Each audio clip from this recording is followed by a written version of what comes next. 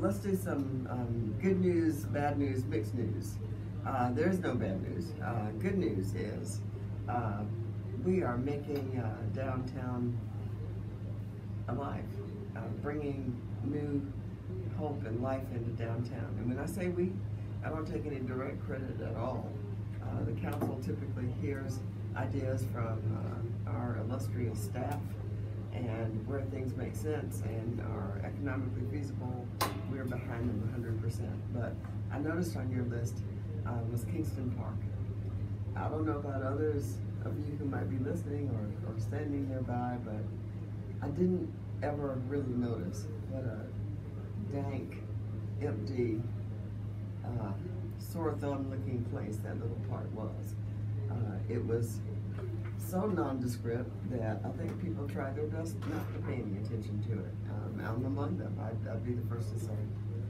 But with uh, the creative touch of um, our arborist, Lily, uh, Wanda Lily, and uh, some other people with the city, um, and the, the support of the administrator, that is going, it's just about right this minute, the most beautiful spot in, in the town.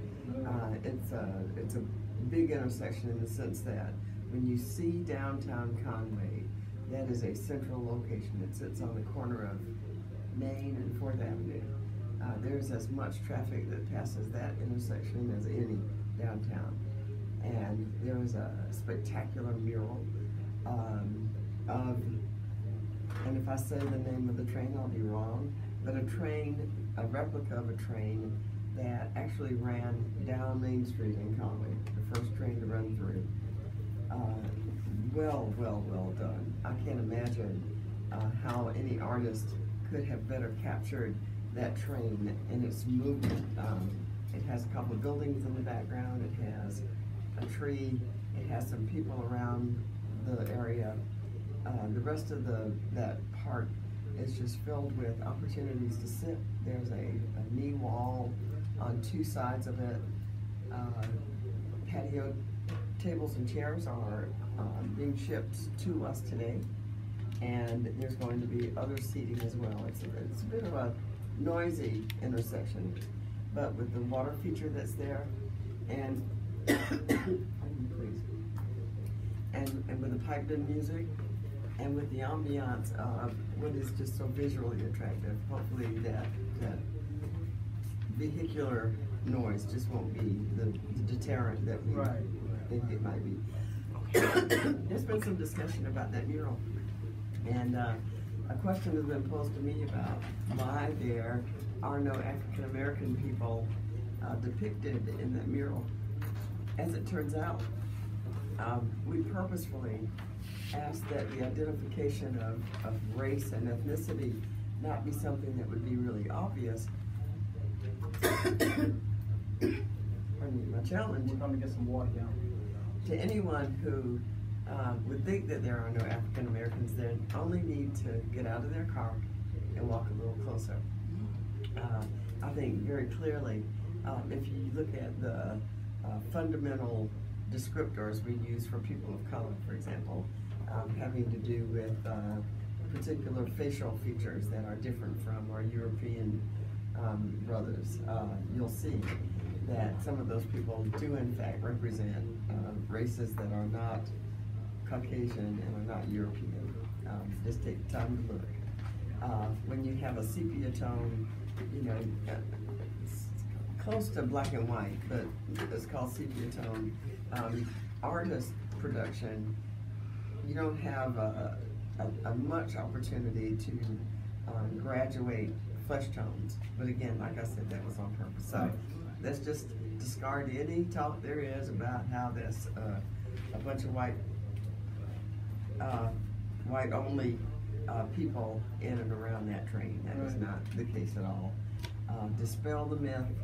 Come look for yourself and come enjoy a beautiful park. They're putting in more plantings, and, and it is just fantabulous. It's, I mean, first time I wanted there to see the fish project down here brought tears to my eyes. It's really that beautiful. There's also a garden walkway that sits halfway the, the main block of Third Avenue, uh, about halfway between Main Street and Laurel Street. It's just a one block meandering walkway that connects the alley to Third Avenue with some of the most beautiful plantings you've ever seen. There's a, um, um, um, a chair and table uh, that sit in the middle if you want to just sit and, and use your laptop for a few minutes or, or have a bite to eat. There are a couple of restaurants nearby um, that offer the kinds of food that would be perfect to go outdoors and sit, and especially a day like today. But if, if you want to get rid of your troubles, if you want to recognize the beauty of nature, if you want to just see what a creation God has made right here in our own hometown, uh, there's nothing more beautiful than that tiny little garden walk through and and Kingston Park. So that's just a beginning. For those of us who don't venture more, no more than two blocks away from our existing homes, and you do have a people like that. So, uh, uh, give us uh, um, please give an, an exact location as to where Kingston Park is. Kingston sits at the intersection of Fourth Avenue and Main Street. Uh, it is, for those of us who have some history, it is about two doors down from where Mr. Archie Johnson's shoe shop was. Uh, okay. Uh, Right on that if that corner. gives you, yes. Right. At And the where the, the theater, the Republic shows its plays, there is the Theater of the Republic, then there is a um, Rivertown Brewers, and, not Brewers, It's a coffee house, so what do you call coffee people? They don't brew, they, maybe it is brewers. I thought that was, it? They're coffee. they brew coffee, Yeah. okay, the Rivertown Coffee. Coffee house. The Rivertown Coffee House, Yeah. and this next door. Um, those of you familiar with the, um, the, uh, Jamaican restaurant that sits on the corner. Right. It, it faces there, so, I mean, it's not like you can lose it, it sits at the intersection. Um, if you're facing, uh, the nine oh five bridge, what most of us Uh-huh. call cross the bridge, once you get there. Um, it is like a block, it is two blocks from this side of the bridge, on, on the, on, down, on the town side of the bridge. Yeah. Um, but a lovely little park. Um, I mean, it's not massive, you're not gonna lose your way. It just is a corner lot that was ill-used in the past, that has been made to be a really pretty, um, indicia of who the people of Conway are. It, it says that, that we're cool people, and that we love art and beauty, um, and nature, so go out and see it. Now, the other one I talked about, that, that, um, garden walkthrough sits between Third Avenue and the alley on the backside of City Hall. Uh, can't tell you the name of the alley off the top of my head, but at any rate, um, it's just a block long. It's just a beautiful meandering little alley with a bistro table and a chair and music and plants that are all indigenous to this area Yeah. that are kept very, very well. is there a church back there? There is not. This is, you're thinking opposite side of Main Street. This is sort of, if you think of, of City Hall as facing Main Street, then this would be behind City Hall. Um, there are about two or three storefronts between the back of City Hall and this little opening where this, where this place is. Now, I understand that, uh, Conway's about to have its first parklet. About a year ago, maybe eighteen months ago, City Council approved parklets. Parklet? And a parklet. And that is a, a place where, uh, there it is, is an existing, um, brick and mortar restaurant that Right. sits. And, um, in places where traffic would allow it, uh, we're allowing those business owners to move part of their package to the outside. There are a lot of people who like outside dining. And so you block off as many as two parking spaces, and you have to do some barricading to make sure that people will be safe out there. Yeah. But, um, I understand the Crooked Oak Tavern is going to be the first, um, restaurant downtown that actually uses a parklet. Hmm. Um, you might know, you might recall that we also approved busking in downtown Conway about the same time. There were three things approved, parklets, busking, and food trucks.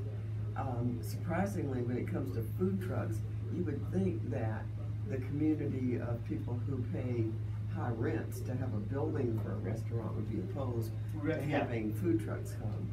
As a matter of fact, it's just the opposite. Yeah. They want it there because what happens is when you when a community gets known for having food, this is where you go for food. And there there are various offerings, whatever number of people you've got in your group, um, there's something there for everybody. So if you can be have your building within a couple of blocks of a, of a food truck and have a variety of offerings, and people come. They really do enjoy it. So So we, we just, no, okay, so now explain what busking, how you busking, B U S K I N G. So a That is- busker is uh, a street performer. So in in larger cities, uh, it's not unusual at all to walk down the street and see somebody Yeah, with, playing- yeah, with a horn or Yeah. a guitar or drums or uh, doing a little um, break dancing or I mean they're they're art forms. Right. Um, we control the content um, to make sure that whatever's done is decent. Uh, we control the number of days a week a person can come, but they can put out a hat or a jar or their guitar case Right. and leave it open to make tips. Yeah, More people come by. Absolutely. But I mean, it can it can start to make your downtown a really hip place to be. Um, I went to a, um, uh, a basketball game in Charlotte just a few weeks ago, and I mean, it was just wonderful to walk out of the stadium. Is it called stadium? Yeah. Where? The basketball game? Uh, uh, The arena. arena. Yeah, Yeah. walk out of the arena and have this band outside Mhm. playing. Just a, an organ, not so organized, but a group. I guess they'd worked together before because the music sounded so good. But but that's the kind of thing that's allowed. So Right.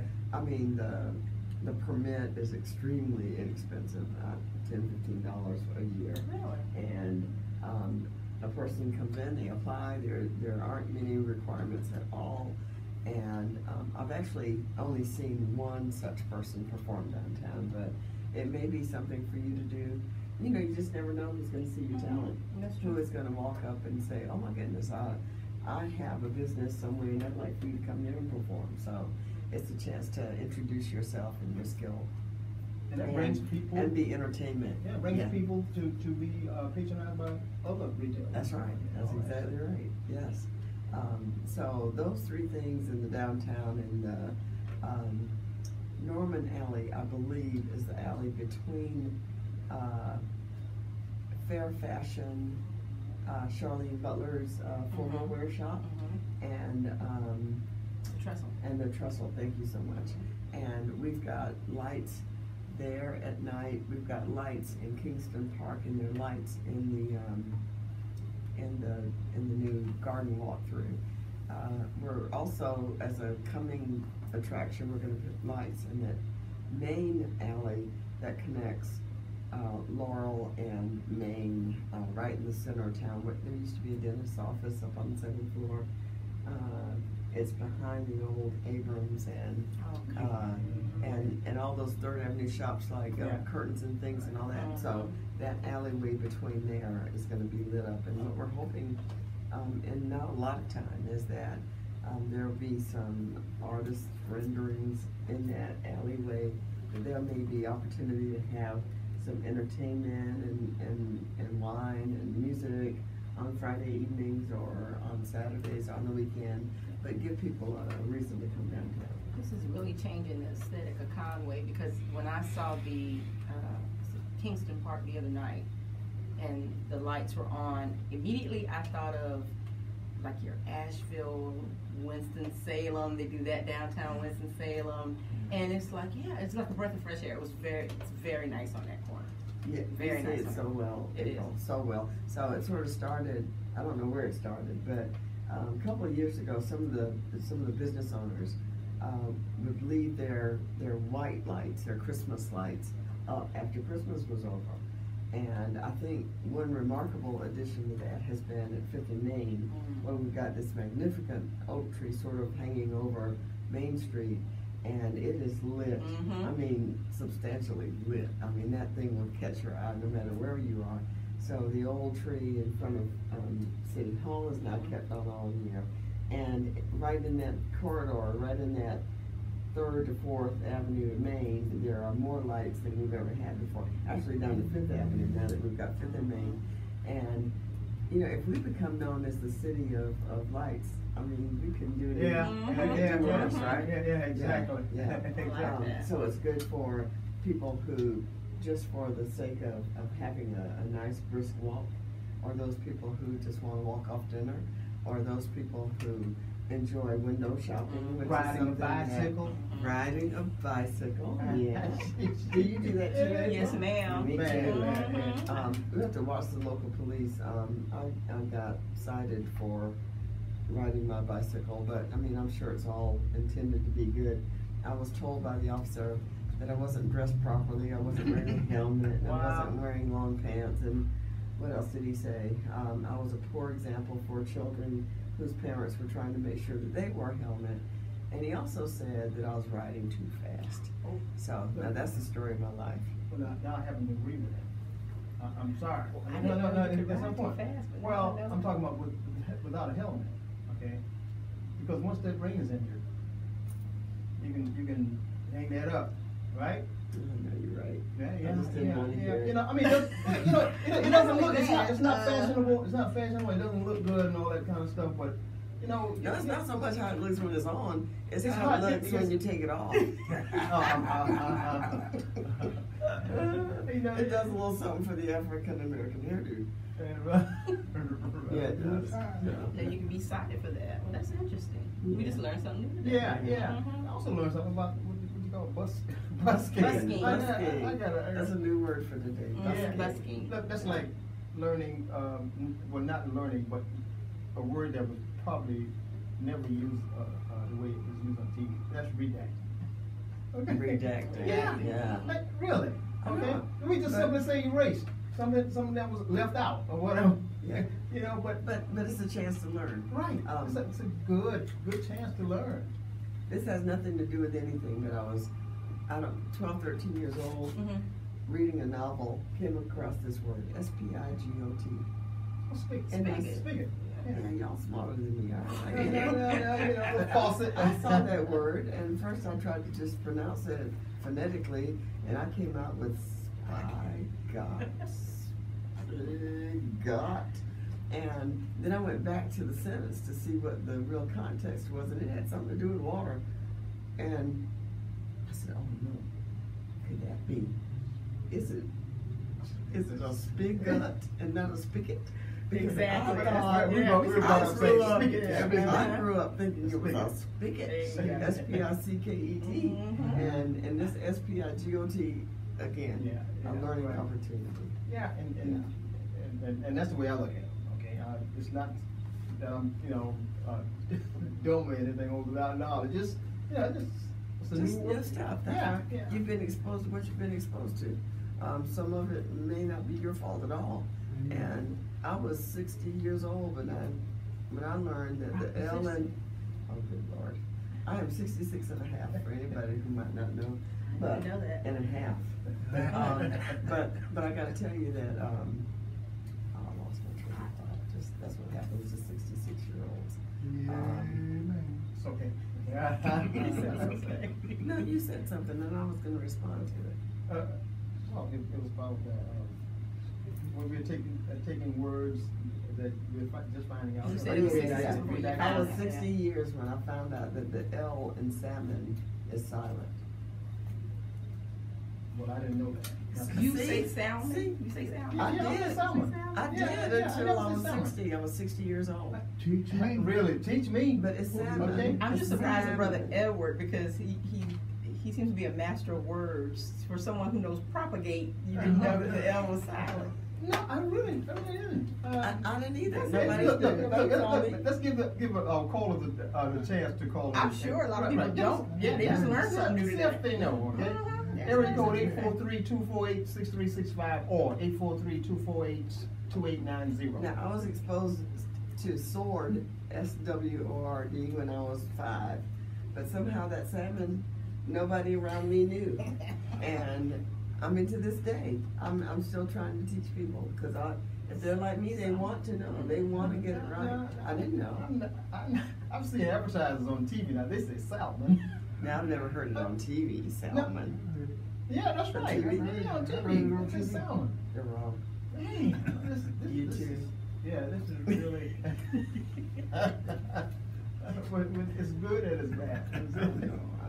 It's good that it's, good that it's new knowledge, but anyway. But if we're still talking, um, and if I've got like two or three minutes, Mhm. uh, there's a lot of, there are a lot of questions out there about the five oh one Yeah, business five oh one bridge. repaving and the bridge Uh, and- and seven oh one, all that good stuff. Five oh one, uh, repaving is, um, underway on purpose, the intersection, same intersection where, um, Kingston Park is. Uh, Fifth, I'm sorry, Fourth and five oh one has not been repaved, it needs it as much as anything, but we're doing an underground utility work there, so all the wiring that carries your cable, your telephone, your, um, um, all those wires are coming down off the poles, the poles are gonna disappear, it's going underground. And it just didn't make much sense for them to pave it, and we know it's gonna be dug up in a matter Right, of just a very right, few right, weeks. right, right, So the right. paving is coming along quite well. My understanding of the bridge is that we truly are, uh, looking at, um, the date that's been, that's been issued publicly. Now, when people, uh, just in passing, see me at, you know, store and I'm in North Myrtle Beach maybe, I say, so, so, when is, what is the real scoop? When is that bridge gonna open? My response always is, I feel pretty confident that it'll be open by Christmas. And whoever I'm talking to, usually they just turn around and walk away. It's like, that, that woman's crazy. Uh, and that is, that is a joke, but, but I come from a place where I believe you predict things farther out than you believe them to be. And if it happens earlier, people are very happy with it. Yeah. If I think I can get a job done for you in a month, I'm gonna tell you six weeks. And if I get it done in three or four or even five weeks, you're yeah. gonna be really happy. As opposed to me predicting the, the best possible date and then me not being able to meet it. Um, we do get, uh, updates from South Carolina Department of Transportation weekly. And for the last several weeks, I mean, they, uh, the reports are, indicate that they are moving just as they had planned since they uncovered these, um, um, they've, uh, have uncovered all the, the new information about the structural issues Mhm. with, with the bridge. But, um, they are at the point where they're, um, starting to do some, um, more surface, Mhm. take care of more surface issues, and it looks to me like it's going to be ready in time. That's an icon. That's good, by the way. And Yeah, the common uh, business is- oh, yeah, but, yeah, you mean the, the one that's being repaired Yeah, now? right, Yeah. right, I right. think we didn't know how much, It's- that's Exactly. just one more example of having something and losing it. Um, we don't recognize how important it is to us, um, as long as it's there and it's standing strong and we get to drive across, but first day you try to go across and there's a barrier that says you can't come this way, um, all of a sudden, it, it takes on a new significance. Now there's perceivably one way to go to Myrtle Beach or to get to work, and people used to think that the downtown Conway Bridge was underutilized. Yeah. Now we appreciate it more. I know I do. Yeah. You know? Absolutely. So yeah. Absolutely. Mhm. Yeah. Mayor Barbara Blain Bellamy, definitely an icon here in Conway. We do appreciate having her here today, and she's off to handle more business. Yeah, I'm telling Most you, people are trying to get off work at a That's right. to Yeah, five. she's- yeah, she- She, you know, she's about to go and handle some more business, so that's great. It was, it was always, it's good having her here in the studio, and and we'd like to thank one of our loyal listeners who let us know that you can Google the words. There will you actually find a list of all the words that have silent letters, Right, right, words right. that you we're probably mispronouncing. So you, you. And salmon, salmon is one of them. People say salmon. Yeah, yeah, yeah. It's salmon. I mean, it- I, I won't say it that vivid, but it's kind of silent sometimes when I say it, but it's, it's not without that L in it. or I say, you know. But believe me, I eat enough of it, so. Yeah. Uh, Good stuff. Yeah, yeah, Yeah. yeah. You're listening to the Whittemore Community Magazine Hour Call right here at the PGS fifteen thirty AM on your dial. Where? We're gonna come back with some community announcements and Yeah, uh, yeah, bunch of stuff. special things going on, Oh, some yeah. scholarship information. Uh, uh-oh. All that good Uh-oh. stuff. Uh, yeah, yeah, you better get ready. Get ready, get your pencils Okay, ready, get your pencils ready. ready, cause there's gonna be some scholarship money given out, okay? my understanding is a total of about ten thousand dollars. Okay? That average is about a thousand dollars per, awesome. per child. I mean, that's, that's, that's a couple of books in. You, you got that right. And on that, let's go to commercial. We'll be right back. You're listening to the Whittemore Community Magazine's Hour of Power right here on WPJS 1330 AM. You can also catch us on WCMagazine.net if you're in your office or on your mobile device.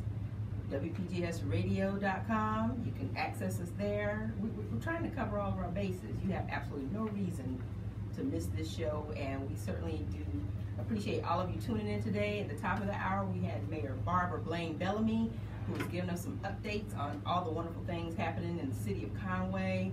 Uh, lots of, uh, we, we learned some new words. Busking.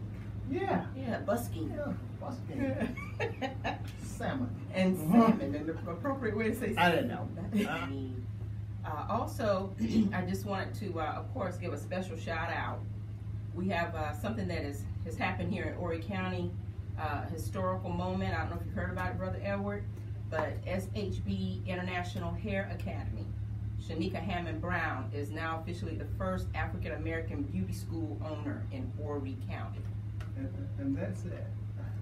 That is the SHB International Hair Academy, which is located, uh, I think that's, is that Fourth Avenue?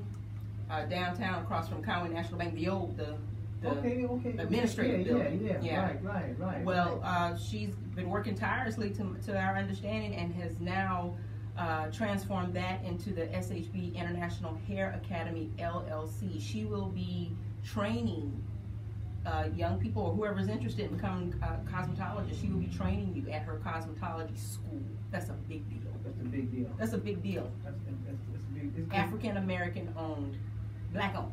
Um, You know me. Black owned. My sister over there. Um, Of course, that information is brought to you by the network. yeah. Shameless plug. Shameless? Shameless plug. Shameless plug. Word I didn't know. We're doing big things in the black community. We're doing. We're doing big. Sure, you're right. Thank you, Pete. This is all about the talent that we have in our own community to educate and empower one another, and we have to continue to do that. And if we don't, If we don't, who will? Okay. We don't have to reach out. you're listening to the Whittemore Community You got it right Magazine here. Hour Pop right here, WPGS thirteen thirty AM on your dial, where we mean business. We mean business. Okay, mean business. Yep, I'm telling you, you haven't, seen- you haven't seen anything yet. Hang around. You haven't seen anything yet. PJ, do you, look, can I, that's all right, it's okay. Um, just want to give a shout out to all, all of our contributors to the, um, summer job program, okay? Um, can't call all of your names right now, but you know who you are. Um, we, I can't say enough, and I just wanted to make that statement. Yeah. Can't say enough, uh, about what you've contributed so far, and you can continue to contribute. And uh, we're just looking forward to, to, uh, hosting some of our youth th- this year and, and keeping them off the street, okay? We, it was fantastic last year, it was very successful.